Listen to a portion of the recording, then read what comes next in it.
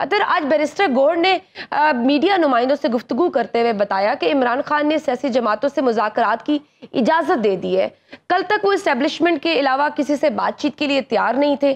آج عمران خان کے رویے اور سوچ میں تبدیلی کی وجہ کیا ہے؟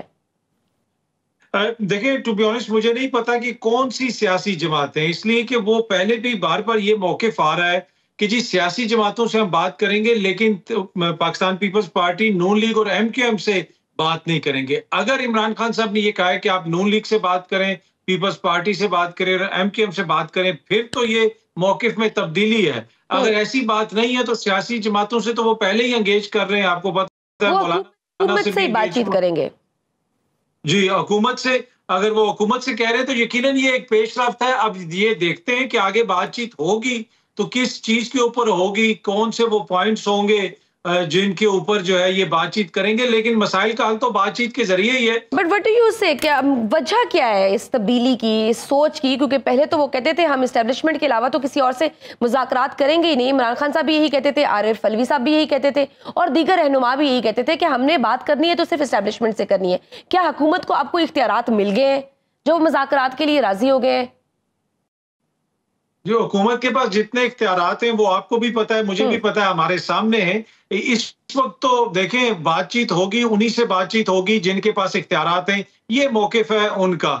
لیکن ٹو بی آنےسٹ میرے لیے یہ بڑی سرپرائزنگ ہوگی کہ خبر ہوگی کہ کیوں انہوں نے حکومت سے بات چیت پہ جو ہے وہ راضی ہوئے ایک بات تو آپ کو یاد ہوگی کہ جب سپریم کورٹ میں مقدمے کی سماعت ہو رہی تھی تو وہاں پہ موزز جج صاحبان نے بھی کہا تھا کہ بات چیت سے مسائل حل کریں۔ جی، جی، تو کیا یہ جو بالکل ہاں۔ تو کیا یہ سپریم کورٹ کے مشورے پہ ہو رہا ہے؟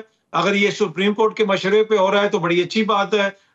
ہمیں خوشی ہے کہ جناب سپریم کورٹ کا مشورہ مانا جا رہا ہے۔ لیکن یہ ٹو بی آنےسٹ اگر ان مذاکرات سے کوئی یہ امید لگائے بیٹھا کہ اس سے کوئی حل نکل آئے گا تو وہ مجھے کوئی ایسی پیش رفت ہوتی بھی دکھائی نہیں دے رہی۔ اچھا آپ نے سپریم کورٹ کے مشورے کا ذکر کیا ہے تو عمران خان سیاسی جماعتوں سے مذاکرات کے لیے سپریم کورٹ کو خط کیوں لکھنا چاہتے ہیں؟ سیاسی جماعتوں کے درمیان مذاکرات میں سپریم کورٹ کا رول کیا ہوگا؟ اب ڈائریکٹ مذاکرات بھی کر سکتے ہیں۔ جی۔ جی یہ تو خط کے مدرجات سامنے آئیں گے تو پھر ہی پتا چلے گا لیکن انہوں نے واضح طور پہ صحافیوں سے بات کرتے ہوئے کہا تھا یہ خبر باہر آئی تھی کہ جناب ہم خط لکھیں گے۔ اب وہ کیا حاصل کرنا چاہتے ہیں اس خط کے ذریعے یہ تو ان کو پتا ہوگا، لیکن سیاسی جماعتوں سے دیکھیں، اس وقت ان کا جو موقف ہے اور جو حکومت میں سیاسی جماعتیں وہ بالکل پولز اپارٹ ہے۔ وہ ایک ان کا رخ اس طرف ہے، ان کا رخ اس طرف ہے۔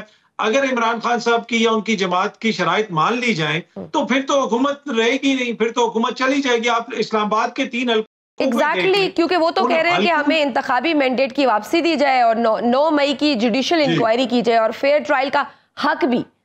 تو یہ مطالبات تو ایسے ہیں کہ حکومت آئی ڈونٹ تھنک سو کہ تسلیم کرے گی.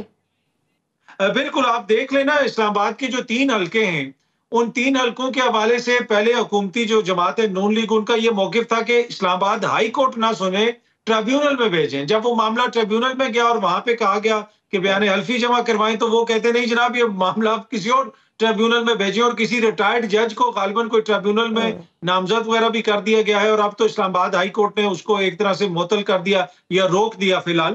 تو اس سے آپ اندازہ لگا سکتے ہیں کہ حکومت اس پوزیشن میں نہیں ہے۔ کہ وہ کسی سے مذاکرات کر کے کسی کو ریلیف دے سکے۔ اگر ایز اے حقیقت کو سامنے رکھتے ہوئے شجیہ ہم بات کریں کیا شہباز شریف صاحب اس پوزیشن میں ہے کہ وہ عمران خان کو کوئی ریلیف دے سکیں؟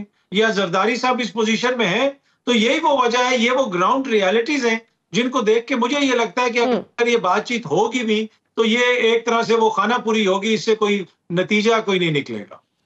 اچھا اطر مذاکرات کے لیے ایک ماحول ریکوائرڈ ہوتا ہے۔ اور اگر ہم دیکھیں، ویسے دیکھیں تو آپ یہ چیزیں دیکھیں تو دونوں طرف سیز فائر ہونا ضروری ہے۔ بٹ اگر دیکھا جائے تو حکومتی کاروائی آپ کے سامنے ہے۔ کس طرح سے پارٹی سیکٹریٹ کو سیل کر دیا گیا، نئے مقدمات کر دیے گئے کنونشن ہوا۔ اس میں بھی انہوں نے مقدمہ کر دیا۔ عدالت جانے سے روک دیا۔ شبلی فراز کے گھر کاروائی کر دی گئی۔ تو کس طرح سے مذاکرات ہوں گے؟ اس طرح کے ماحول میں۔ اور آپ پی ٹی آئی کے بیہیویئر کو بھی دیکھیں تو ادھر بھی کوئی لچک سامنے نہیں آ رہی۔ وہ ٹویٹس پہ جی، جی، ٹویٹس کیے جا رہے ہیں وہ ہٹنے کو تیار نہیں ہے جی میں اسی طرف آ رہا تھا کہ دیکھیں دونوں طرف سے ہوتا ہے نا اب تالی دونوں ہاتھوں سے بچتی جی۔ ہے تحریک انصاف کو بھی دیکھنا پڑے گا ان کی لیڈرشپ کو بھی دیکھنا پڑے گا۔ آپ کے سیاسی مخالف ہیں آپ ان سے ان کے اوپر ضرور الزامات لگائیں ان سے بات چیت کریں لیکن میرے خیال میں ساری بحث کو اداروں کی طرف موڑ دینا ایک یہ وہ بھی ایک ایسی چیز ہے جس پہ بہت سارے لوگ اعتراض کرتے ہیں کہ جناب اگر آپ اس طرح کا ماحول رکھیں گے تو پھر کیسے بات چیت ہوگی؟ لیکن اگر آپ دوسری طرف حکومت کا کنڈکٹ دیکھیں جو خواتین ان کی ورکرز ہیں پاکستان تحریک انصاف کی وہ جو ہی جیل سے ان کو ضمانت ملتی ہے دوبارہ گرفتار کر لیا جاتا ہے۔ جو کچھ ان کے ساتھ ہو رہا ہے پاکستان کی سیاسی تاریخ میں اس کی کوئی نظیر نہیں ملتی۔ پھر جس قسم کی قانون سازی کی باتیں ہو رہی ہیں جس طریقے سے مقدمات قائم کیے جا رہے ہیں اب آپ نے ان کے نکاح کا مقدمہ بھی کر دیا ان کا نکاح بھی خدا نخواستہ ختم کر دیا تو کیا حکومت کی جانب سے کوئی آپ کو پیش رفت نظر آ رہی ہے؟